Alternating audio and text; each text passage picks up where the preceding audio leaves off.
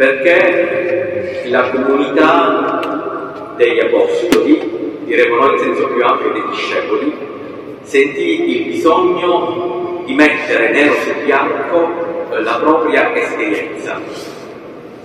Avete mai tenuto un diario personale? Io da ragazzino tenevo, poi l'ho lasciato, poi l'ho ripreso, specialmente i primi anni del mio discernimento vocazionale e gli anni, primi anni del mio cammino nell'ordine, sentivo il bisogno di mettere nero su bianco. Scrivere eh, è un atto importante perché ti obbliga eh, a fare chiarezza rispetto a quello che credi di credere o credere di vivere, fare chiarezza. Perché quando tu scrivi, specialmente quando poi ti rileggi, capisci che quello che hai scritto sono sciocchezze o le devi riscrivere, qualora non si capissero chiaramente. È un atto di sforzo, di disciplina, perché tu possa in qualche modo tenere in maniera più chiara quello che stai vivendo. Ma questo è solo un aspetto del perché eh, gli apostoli, la comunità, redige i ricordi che hanno di Gesù.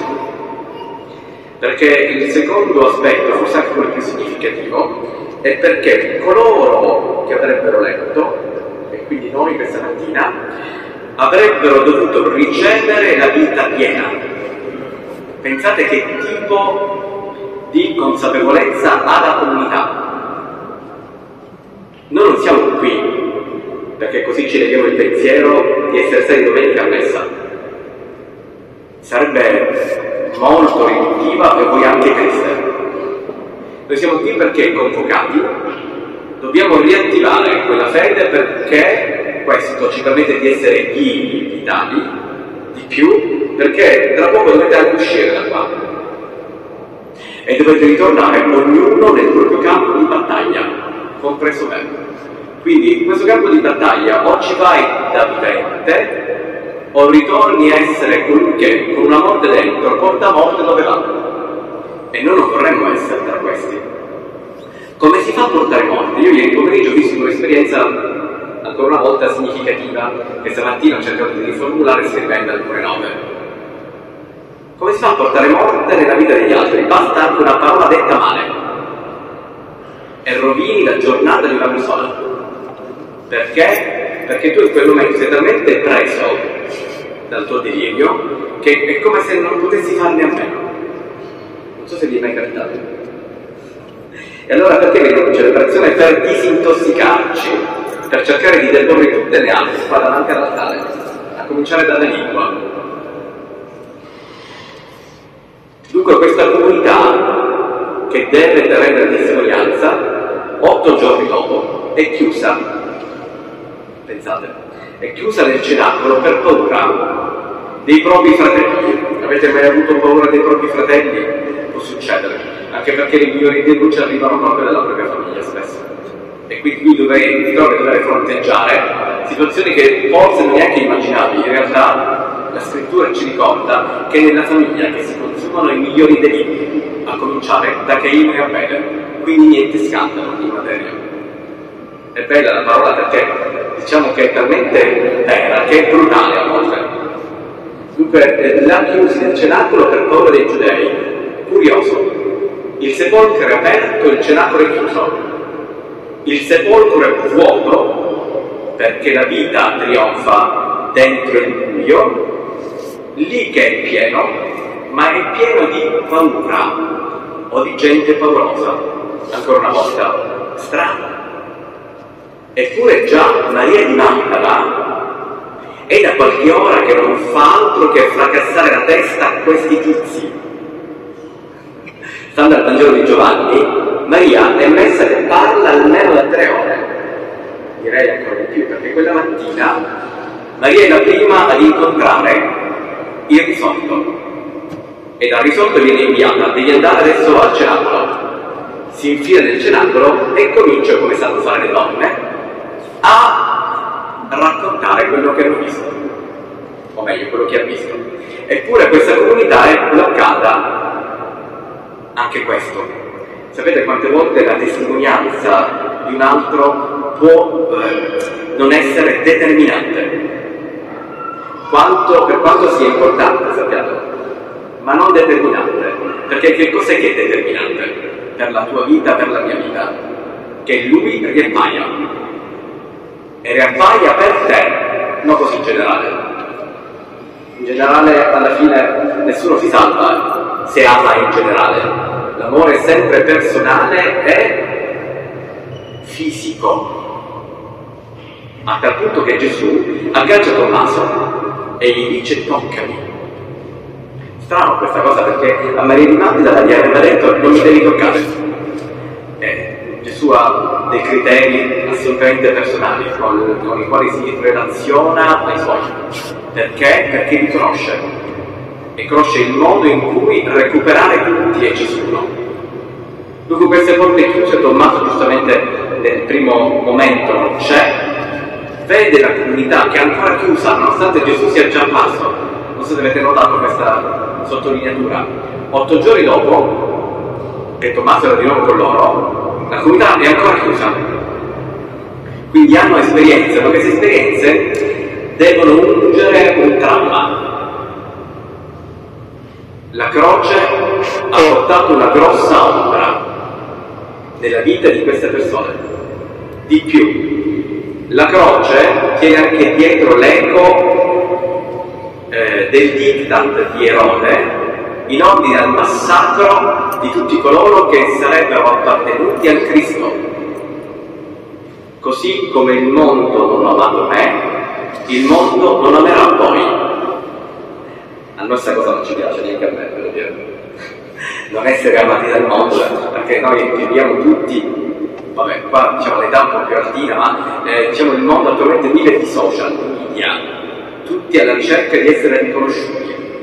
Andy Warhol negli anni 50 arriverà a dire, questo straordinario artista, che 70 anni fa, pensate, ci sarà un momento in cui venderemo l'anima al diavolo pur di avere una foto da qualche parte che qualcuno guarda. Interessantissima, i profeti.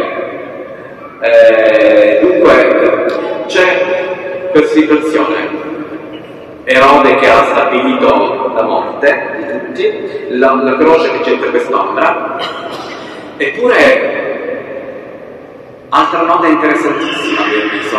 In quel cenacolo, secondo l'intreccio evangelico, c'è una donna più importante di Maria di Magdala. Vi ricordate che Giovanni ha detto alla madre, questo è tuo figlio, Giovanni la prese con sé, quindi vuol dire che lei è là. Che cosa sta facendo?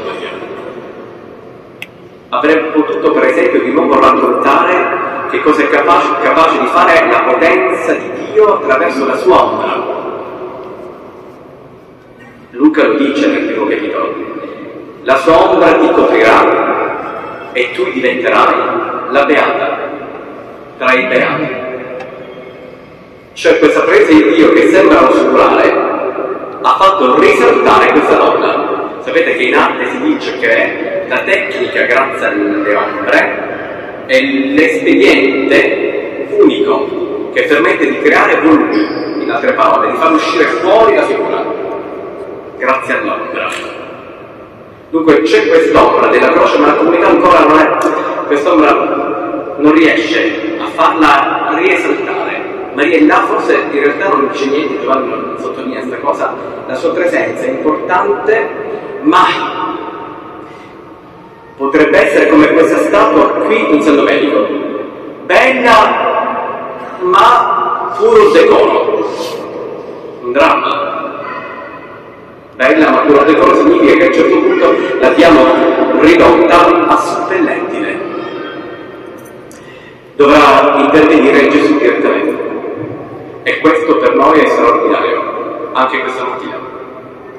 La sua voce infrange i muri, entra e porta pace. Pace a voi, per tre volte, in una comunità intimorita, nonostante una comunità che abbia già fatto qualche anno di cammino con lui. Intimorita, pace a voi. La pace è questo dono, grazie al quale tu cosa fai? ti siedi e respiri. a pieni polmoni. Io ieri ho dovuto fare degli esercizi di, respirazione per riprendermi dalle 5 ore che sono stato a Cammarata. Esercizi di respirazione per cercare di anche di agevolare la pace di me. E a un certo punto cosa succede? Una volta che tu sei nella pace, la, la condizio, l'habitat direbbe Tommaso Aquino, l'habitat, cioè il luogo grazie al quale tu cominci ad intendere. Maria è soi, a casa sua, la madre, la dimensione. No? A un certo punto la, eh, questo luogo di grazia eh, ti arriva eh, l'indicazione. Qual è l'indicazione che dà Gesù? Dalla pace e dà un'indicazione. Dovete andare a fare quello che io fatto. Che cosa ha fatto Gesù? È là la chiave di volta, l'essenza del cristianesimo. L'essenza del cristianesimo non sono nelle celebrazioni, nelle processioni, nei trattati di teologia, né opere d'arte straordinarie. L'essenza del cristianesimo è ricevere il perdono e dare il perdono. Questa è l'essenza del cristianesimo. Come si fa? Si fa in virtù di uno spirito che riceviamo. Gesù mostrerà delle ferite. Perché sappiatelo, non lo devo dire a voi, che amare significa lasciarsi ferire. Essere feriti o portare ferite. E anche questo è un. Ma Gesù mostrerà questi luoghi come la realtà più intima attraverso la quale Dio si rivela. Questa è una cosa complicatissima, che si aiuti in me e poi il luogo in cui risplende alla massima potenza la sua divina. E questo sangue brillante, diremo noi, divinizzato, e invita a non temere, a rimanere discepoli. Di lì in poi dovranno essere come Tommaso, capaci di eh, ripetere, o meglio professare, mio Signore e mio Dio. Tommaso lo riconosce finalmente. Eh, non c'è bastata la comunità, non c'è bastata Maria di Magdala, c'è bastato qualcuno che tornasse nella sua vita. Tommaso di fondo ci racconta che eh, tutti quanti siamo come lui, un po' come lui. Se lui non torna, noi non riprenderemo quell'entusiasmo, quel sorriso fondamentale perché la nostra vita torni a essere piena e il mondo abbia un dono in più. C'è uno che crede eh, con la prima vita e chissà perché, o perché no, passando come Pietro, eh, la propria ombra possa guarire una moltitudine. Amen.